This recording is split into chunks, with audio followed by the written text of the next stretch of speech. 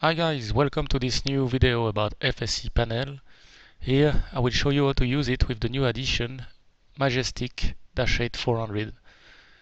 Here we're gonna do a little scenario in uh, Zurich, initially an ILS 1.4.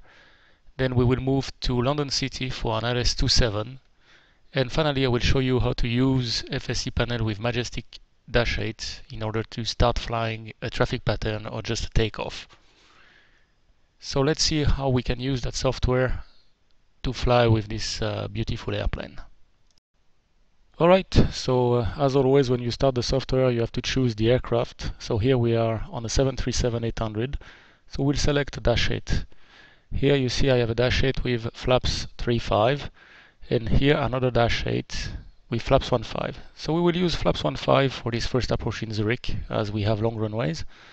So we select the airport, Zurich, Lima, Sierra, Zulu Hotel, Zurich, Switzerland, that's correct. Select the airport. Next, we need to select which runway we want to work out. So here I will choose an, an approach, a runway with a nice approach. So usually in Zurich we use ILS 14.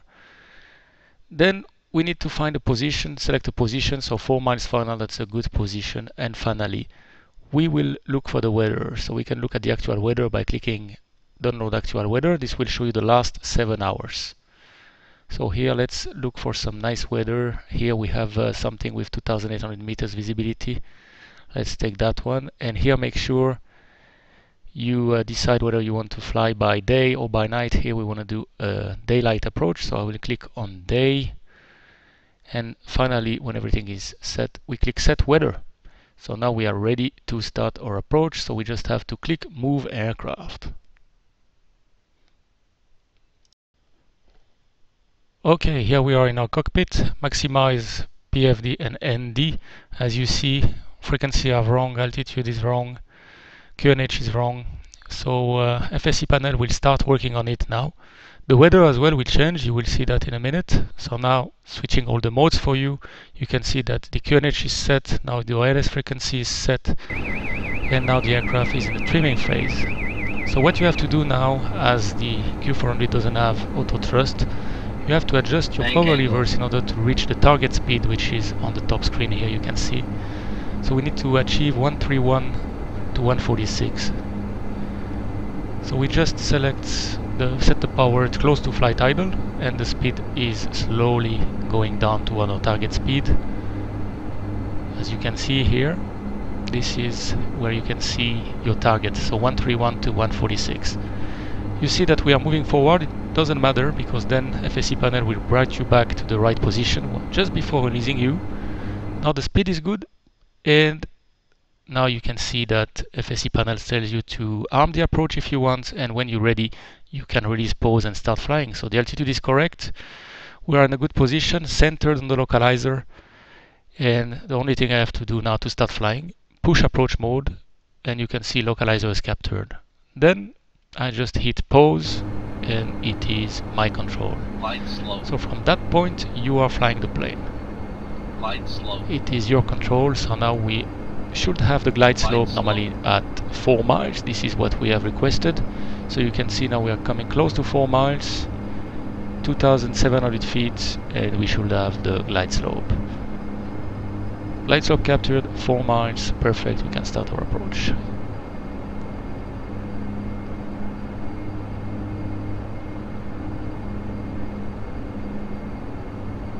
So as you see, it takes only a few seconds to get ready for an approach.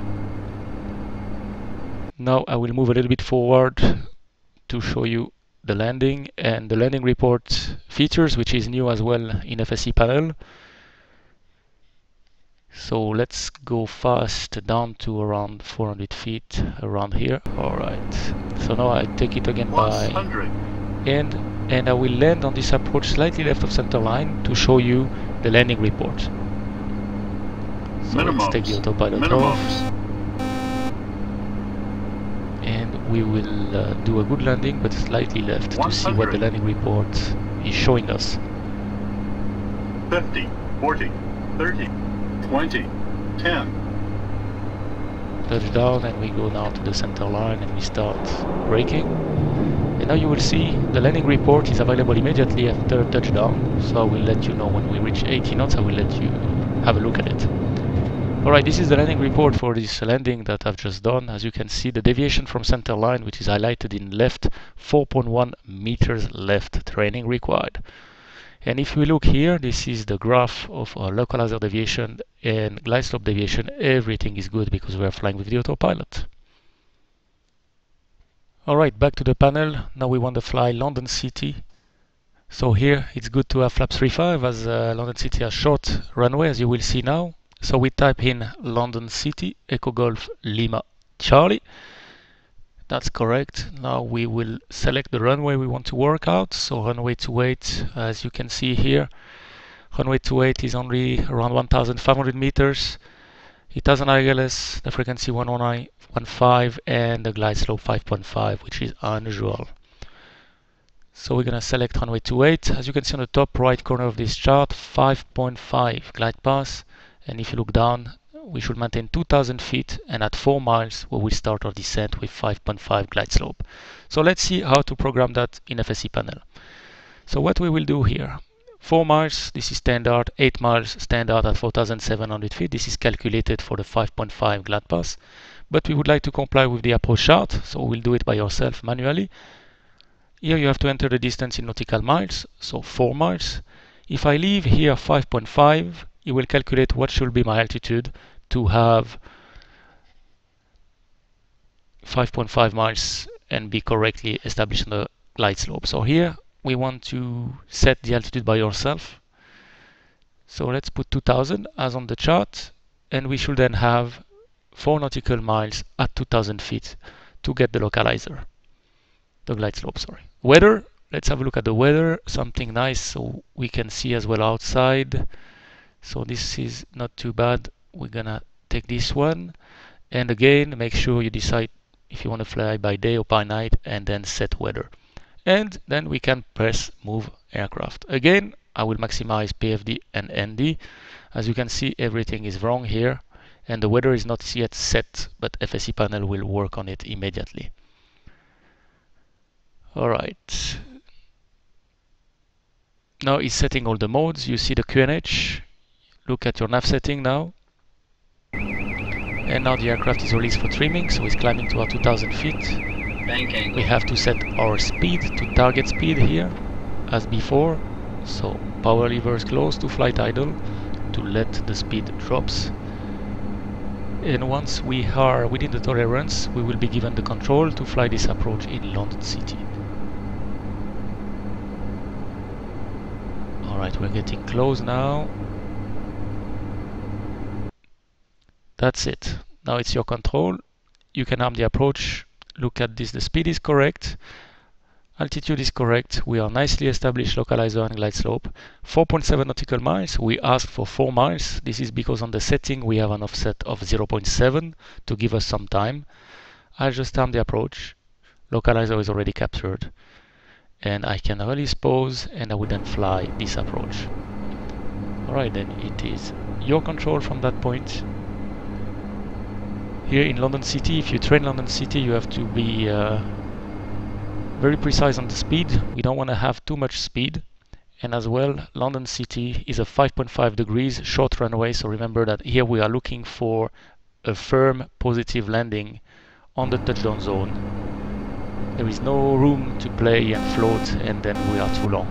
Plus 100. So this is what I will do here, just a little flare, touchdown and then start braking. Minimums. Minimums. 100.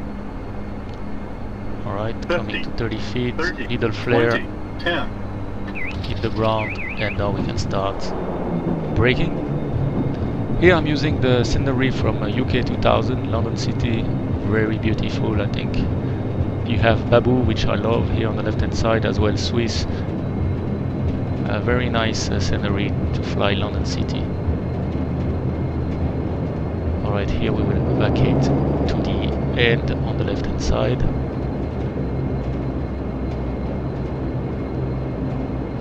Just to show you here, it's very easy to set up any approach.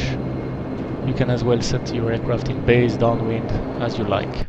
And for the last thing we want to do, we want to do a takeoff. So here flaps on 5 is good for a takeoff. I will choose my runway. So we said we want to work out in Zurich, runway 28. So I will type in Zurich. Then the runway to 8 and select fix and I will go for uh, let's say a right hand patterns. Look here 5000 feet, this is the altitude we would like to have and move aircraft. As I didn't change the weather, the weather will be the same as previous, so it will be the same as in London City. So now everything is wrong, the QNH is wrong, the weather is wrong, and now FSiPanel is taking care of it. Look now, the QNH is correct, altitude for the circuit is set at 5000. We are in heading cell, heading go around an alt cell, flaps 15 for landing already set for you. and if you look at your uh, overhead panel everything is set for your takeoff so basically you can fly immediately looking here we have the flaps 5 already set so we'll be ready on way to wait here for a takeoff if you look here we have the speeds as well and your localizer frequency is set to the takeoff runway if you have an ILS so that if you have an emergency or if you do a traffic pattern you can come back. Alright, let's uh, do the takeoff. So you saw that you can take off, you can prepare your takeoff and be airborne within 2 minutes. Because normally when we start Majestic 400 we are with ground power on ground, here you can start immediately. 80 knots, so you can start and fly within a minute.